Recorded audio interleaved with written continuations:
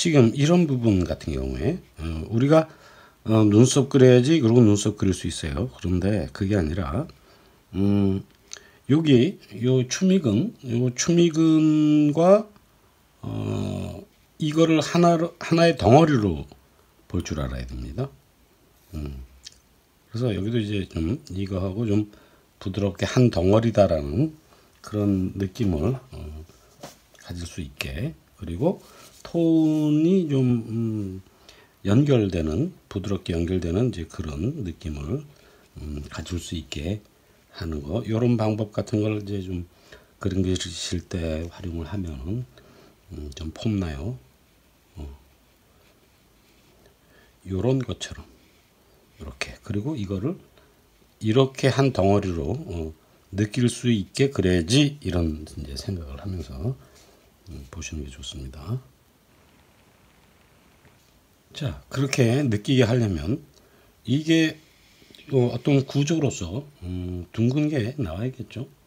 그러면은 이쪽은 빛을 받았고 이리로 이렇게 이렇게 이런 방향으로 어두워져야지 돼요. 그래야지만 이 덩어리가 나오게 됩니다.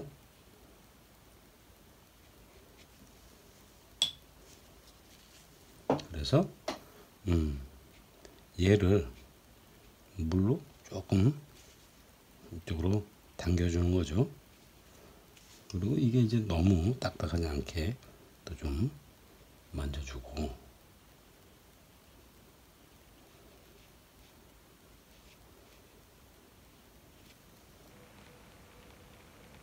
음, 여기서도 음, 조금 뭐 디테일이 있는데 음, 지금 이 그림은 물론 디테일에 대한 설명을 하지만 음, 그냥 적당히 어느 정도 음, 아주 깊게 들어가는 건 아니고 조금 음, 약간 디테일한 그런 정도로 다가 그럴 생각입니다. 여기서 중요한 거는 음, 지금 이 지대의 밝기가 밝아야 돼요. 그래, 그리고 이리로 내려가면서 점점 어두워져야지만 음, 이런 볼륨감 그런 것들을 얻을 수 있습니다. 그 다음에 이제 여기 눈썹 같은 거 그런 것도 생각을 해야 되고 음, 이거 더 들어가면은 사실은 여기 하이라이트보다는 여기가 아주 약하게 좀 어두워지고 뭐 그런 단계도 봐야 되는데 음, 거기까지는 안 가고 제가 대략적인 거 그런 것만 말씀을 드리겠습니다. 음, 여기에서도 보면은 음, 여기가 밝아요. 여기가 밝고 어, 여기 구조가 조금 음, 주름에 관련된 요철이 조금 있어요. 그래서 여기가 윗면이고 여기에서는 여기가 윗면이고 음, 계단처럼 음, 계단처럼 여기가 밝고 또 여기가 살짝 어둡고 요 위쪽이 조금 밝고 그러면서 어, 일단 여기까지 어, 눌러주는 거죠. 음, 여기도 물론 더 해야 되지만 음, 지금 음, 이 아래 카프를 조금 그려볼까 해요. 아래 카프.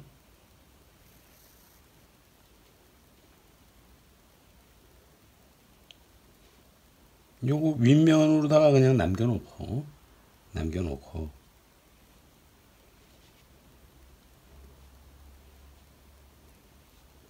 여기에도 요철이 있지만 음, 한 이 정도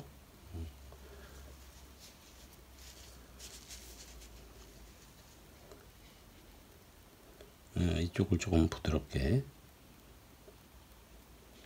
해주고 여기 요, 요 부분도 아주 약하게 음, 칠해주는 정도 괜찮습니다.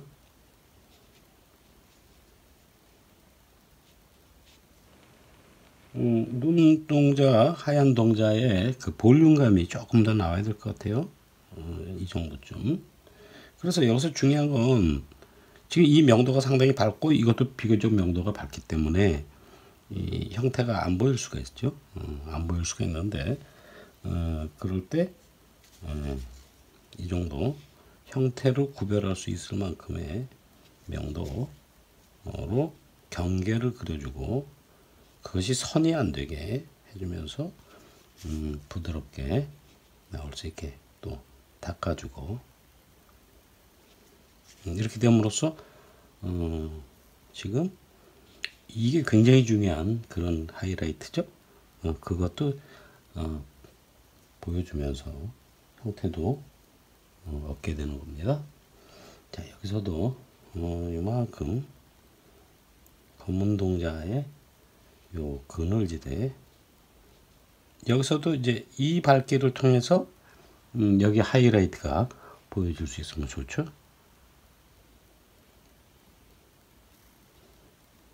자, 이걸 통해서 보여줄 수 있게 이 라인이 보여줄 수 있게 그리고 이 위쪽으로다가는 어, 점점 그 그늘이 있어서 어두워집니다.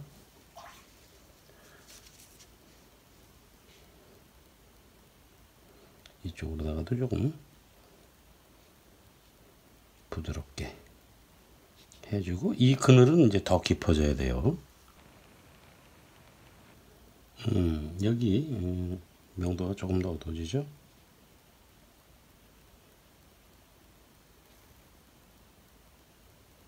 이만큼. 뒤쪽으로 가면서 점점 어두워지는데. 음, 이렇게 어, 여기 물이 이렇게 흥건해 있는 상태에서 음, 그 붓을 가지고 어, 좀 그 농도를 좀 조절할 수 있어야겠죠. 음, 일단 여기까지 칠해주고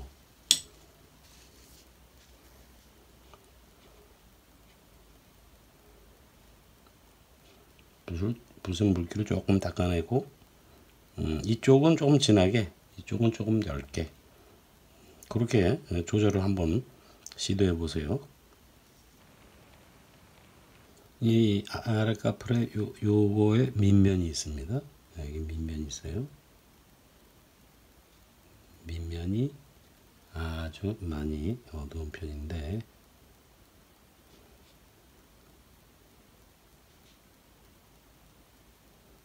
조금 깊어요. 그늘이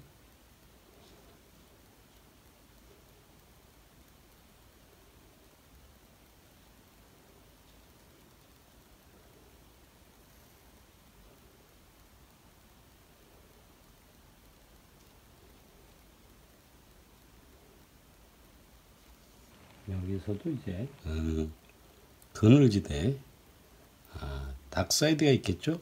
음, dark side가 있어야지만 음, 이 그늘로 어, 넘어가는 겁니다.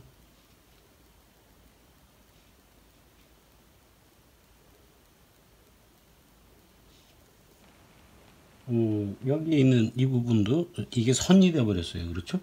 음, 고기의 아, 중간적인 면을 살짝 덮어주면서 윗면을 남겨주는 겁니다.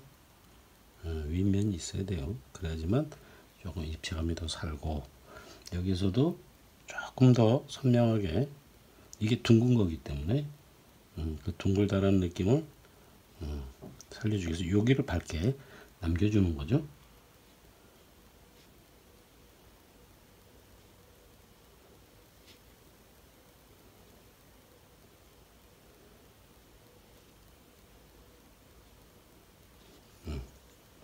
음, 여기에 뭐 이런 것들이 있고 여기 이렇게 하얀 검이 있어요. 어, 이제 그런 것들을 제가 조금 더 묘사를 하고 어, 말씀을 이어가겠습니다.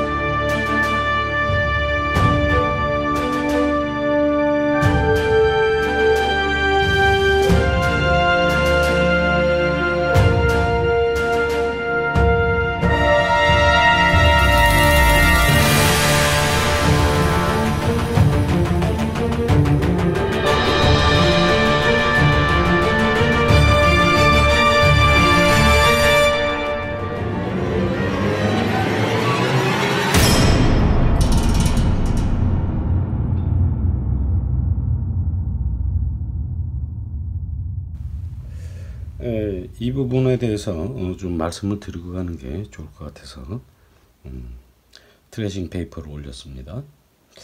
자, 이게 덩어리 지금 음, 여기서 덩어리 크게 보면 어, 이거 이거 하나, 음, 이거 두 개, 뭐 여기 뭐 세 개 이렇게 분리해서 보는 게 좋아요. 그리고 이제 나중에 한꺼번에 이제 연결을 시켜주면 되는데 이 구조, 어, 이걸 나눠 나눠 볼 줄 알아야 돼요. 어. 얘가 맨 위에 있고, 어, 그 다음에 얘가 얘보다 밑에 있고, 얘보다 얘가 더 밑에 있다.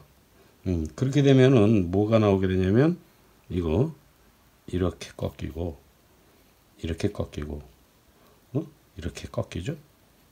이게 나와야 돼요. 어. 그러려면은 이게 맨 위, 윗면 윗면의 밝기가 어느 정도인가. 음, 그거 하고 그 다음에 여기 정면 여기 밝기가 어떻게 되나. 음, 얘보다 얘가 더 어둡다. 이게 나와야겠죠? 음, 이렇게 나와야 됩니다. 어, 이쪽으로 이쪽으로 가면서 여기, 여기서부터 여기까지 가장 밝은 지대로 보고 어, 여기 가장 밝고 그 다음 지대가 여기 그 다음 지대가 여기 그 다음에 여기는 완전히 그 그늘지대. 음, 여기는 완전히 그늘지대예요. 음. 이렇게 볼 수 있어야 됩니다. 음. 그럼 얘, 얘도 마찬가지죠? 얘도? 음, 요거 한 덩어리고 요거 한 덩어리를 놓고 봤을 때 음, 여기는 여기는 들어가 있는 하이라이트가 있어요. 그러니까 여기는 골짜기입니다. 음, 여기는 봉우리예요. 봉우리 중간 약간 어둡다가 골짜기 밝다가 다시 어두워지면서 봉우리로 올라오는 거예요. 여기가 봉우리예요. 음. 그, 그 명도의 차이를 봐주게 되면 얘가 구조적으로 이렇게 돼서 이렇게 넘어간다라는 거를 음, 느낄 수 있게 해주는 거죠. 자, 그런데 얘가 그냥 이렇게 고속도로로다가 이렇게 쭉 응? 이렇게 나와 있는 게 아니라 이런 변화가 있어요. 이렇게 살짝. 그러니까 여기에 이제 언덕 위에 언덕이 또 있는 거지. 들어갔다가 언덕 위에 언덕이 또 하나 있어요. 어, 이렇게 내려가는 겁니다. 음. 그래서 얘는 이제 이렇게 여기서 그러니까 이 덩어리가 나뉘어진다. 어.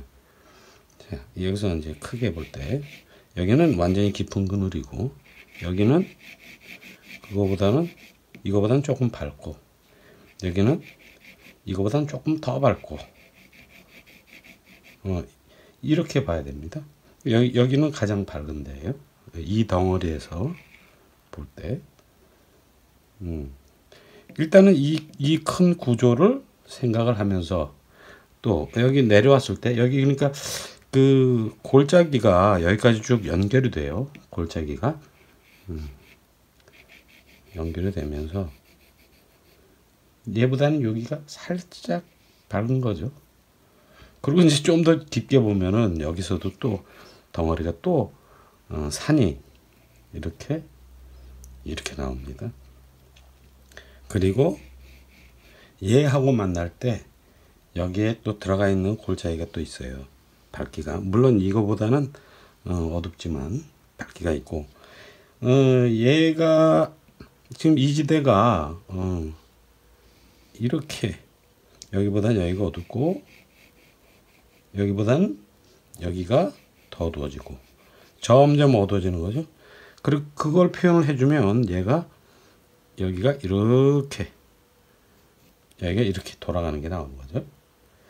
음, 여기서 이 부분, 이 인중 있는 부분에서 옆으로 가는 입술면 여기서도 어, 뭐 이런 부분은 그 명도의 차이를 어, 여기 여기 하고 요 정도의 조금 차이를 봐주면 되는데 음, 이런 식으로 명도의 차이를 봐주면 되겠죠? 여기 봐주면 되는데 여기서 조금 신경을 더 써줘야 될 게 뭐냐면 누가 위에 있냐? 음, 얘가 위에 있습니다. 얘보다는 얘가 살짝 어두워요. 살짝 여기가 어둡고 음, 뭐 여기 이제 뭐 피부 질감이라든가 뭐 그런 것들이 나오는데 그런 거 표현하기 전에 여기 덩어리를 이렇게 세 개로 다 나눠서 보고 어, 이런 것들 어, 명도의 차이 구조 이런 걸 생각을 하면서 예, 그려주는 거죠. 예, 그게 중요합니다. 자, 제가 어, 색깔을 칠하면서 말씀 이어갈게요. 예, 요 덩어리를 그리는데 어, 어디부터 먼저 칠하냐? 밝은 데를 칠하고 그 다음에 어두운 걸 칠하고 뭐 이럴 수도 있어요. 그런데 어, 우선은 음, 크게 색상의 변화가 없는 한 음, 일단은 이 어두운 데를 먼저 어, 진하게 칠해 놓는 겁니다. 뭐 여기까지 들어가도 상관은 없어요. 왜냐하면 여기는 나중에 어두워질 거니까. 자 그리고 음, 얘를 이쪽으로 유도를 하는 거죠. 어, 얘를 이쪽으로 유도를 해요. 그러면 얘가 이쪽에 나오고 여기는 음, 여기는 조금 음, 밝은 부분이죠. 그래서 이렇게 이렇게 이렇게 단계가 어, 좀 나올 수 있게 해주는 겁니다. 그리고 붓에 물기를 좀 닦아서 어, 이 정도 나올 수 있게 어, 이게 지금 정확한 건 아니죠. 어, 정확한 거는 이제 어, 덩어리를 좀 만들어 놓고 난 다음에 섬세하게 들어가면서 음, 섬세하게 들어가면서 이제 이 구조를 조금 더 견고하게 만들어 주는 겁니다. 자 여기서도 음, 여기서 신경 써야 될 거는 이면 얘하고 얘하고 어, 약간 면이 이쪽으로 이렇게 오고 어 그리고 이거보단 조금 명도가 밝게 되면서 음, 이 정도 좀 만져주는 거 좋아요. 그리고 이것도 이쪽으로 부드럽게 넘어갈 수 있게 음, 그런 정도. 이것도 이 각도를 잘 봐야지 너무 너무 세지 않게 그리고 이제 이쪽으로 이렇게 우선은 좀 부드럽게 그리는 거 그리고 여기서 이렇게 이게 꺾였다라는 느낌 음, 그런 것들을 이제 표현할 수 있는 정도 어, 그 정도로 해놓는 거죠. 에, 지금 이 색은 물감 이거는 어, 오페라에다가 Prussian blue하고 greenish yellow를 섞었습니다. 음, 제가 여기를 이렇게 나눈 이유는 여기 사실은 이 눈에 그 저기 어, 웃으면은 여기 생기는 요, 요 주름이 있어요. 그거하고 여기에 요철이 있습니다. 이렇게 울퉁불퉁 좀 음, 나뉘어져 있어요. 음, 그거를 이제 그리기 위한 밑작업으로 음, 조금 음, 면을 나눴어요. 그리고 얘를 이쪽으로 좀 유도해주고 이쪽으로 이렇게 유도해주고 음, 여기도 나중에 손이 좀 가야 될 부분이죠. 여기 여기 요 주름 이게 있는데 그래서 여기가 명도의 차이가 많이 나는 건 아닌데 그래도 차이를 조금 내주는 게 좋고 음, 여기는 윗면이니까 좀 밝고 한 요런 정도 해 놓고 이제 여기 그늘 들어갈 준비를 해 놓는 거죠. 요거 나중에 덮어주는 겁니다. 그것도 이제 구조에 맞춰서 덮어줘야겠죠 음, 여기 칠할 때 이게 반드시 마르고 난 다음에 해주는 게 좋습니다. 어, 마르지 않은 상태에서 하면은 얘랑 얘랑 섞여요. 어, 그렇기 때문에 말려놓고 한다. 음. 그리고 이 지금 음, 이 음, 베토벤의 그 인물이 채도가 색이 채도가 상당히 높아요. 음. 자 여기를 한 이 정도 어, 칠해 놓습니다. 그 다음에 이제 여기 더 어두워져야겠죠. 자, 그리고 음, 얘하고 얘하고 부드럽게 연결시켜 주는 거예요. 우선은 덩어리가 어, 중요하니까 자, 이런 정도로 부드럽게 여기도 경계가 좀 있긴 있는데 여기 이제 묘사를 좀 깊게 예, 들어갈 겁니다.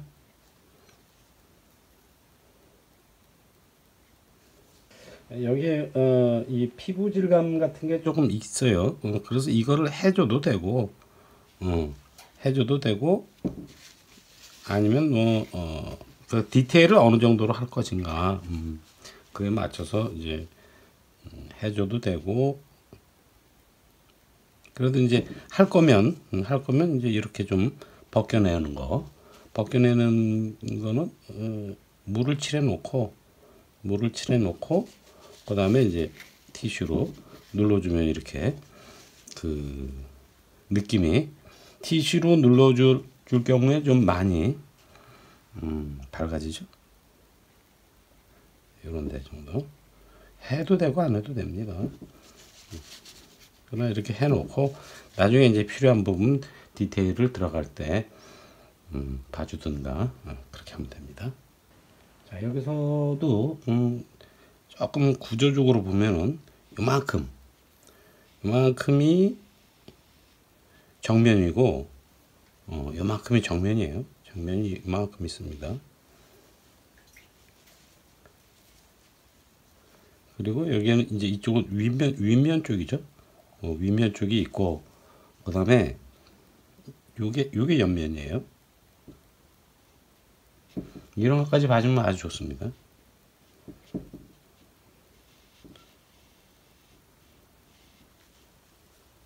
여기 옆면이 밝아요. 음, 옆면이 밝다. 이 면은 그래서 요, 요 덩어리하고 요 아래 덩어리하고 또 구별이 좀 됩니다. 음, 구조가 좀 복잡하죠? 예, 지금, 음, 사실은 요, 요 옆면이 있고 여기에 요런 면이 있어요. 그러니까 여기에 옆면이 밝아야지만 밝아야지만 이 덩어리가 구별이 되는 겁니다. 이건 이제 디테일하게 들어갔을 때 얘기인데, 음. 그러니까 이렇게 어, 밑작업을 해 주고 난 다음에 그 수채화는 계획이 있어야죠.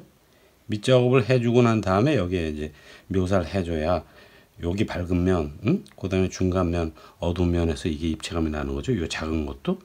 그러니까 그 뭐든지 다 그런 구조 속에서 계획을 가지고 그래야 되는 겁니다. 음, 그리고 어, 이렇게 돌아와서 여기 여기가 밑면이에요. 여기보다는 여기가 음, 어두워야 됩니다. 여기가 밑면이다. 그래서 이제 이쪽으로 이렇게 들어갈 수 있게 해줘야겠죠. 그리고 중요한 거 얘를 여기 요, 요, 요 부분을 건드려서 이게 부드럽게 넘어갈 수 있게 하는 거 중요하고 어, 그 다음에 이제 여기에 밝은 톤 골짜기가 있어요. 음, 골짜기를 그릴 수 있는 준비를 해 두는 거. 음, 할 수 있다면 얘하고 여기 이지대하고 여기 이지대하고의 색상의 차이. 음, 요, 요 뺨 있는 부분에 그 색이 약간 더 붉으스름하고 요 아래쪽으로 보면서 좀 음, 누르스름해진다고 그럴까? yellow 계열의 느낌이 있습니다. 그런 그런 것도 그 좀 색상의 차이를 신경 쓰면 좋겠죠. 한 이 정도까지 해서 어, 여기 여기에 있는 요 윗면 같은 거는 이제 나중에 그 어, 묘사를 또 더 씹어서 할 생각을 하고 한 요 정도까지 음, 이렇게 칠해 놓고 칠해 놓고 닦아 주는 거죠. 그래서 여기 윗면이 부드러워질 수 있게 나중에 이제 디테일한 묘사를 들어가게 다음 스텝을 위해서 준비를 좀 해주는 거예요.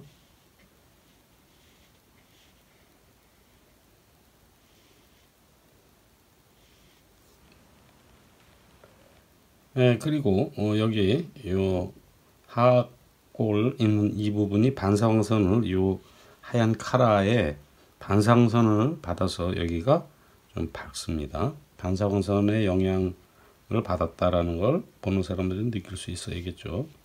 음.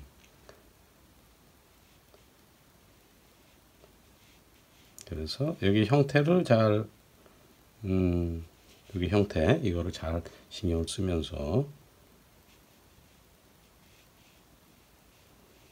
자, 여기까지 이렇게 나와 있어요. 그래서 한 이 정도까지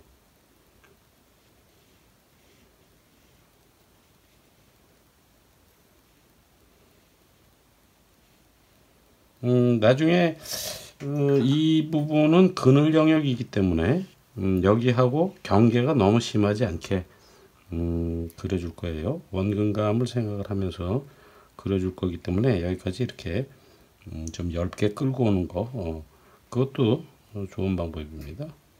여기를 얇게 해서 보낸다. 이 부분도 조금 다음 스텝을 위해서 부드럽게 만들어 놓는다.